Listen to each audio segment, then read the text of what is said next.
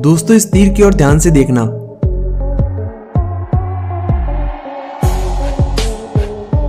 इस बिल्ली ने कैसा ज़बरदस्त करतब दिखाया। वीडियो अच्छी लगी हो तो वीडियो को लाइक करना मत भूलना।